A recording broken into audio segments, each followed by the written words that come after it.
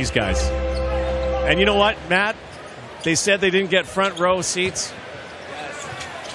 They, I told them they could sit.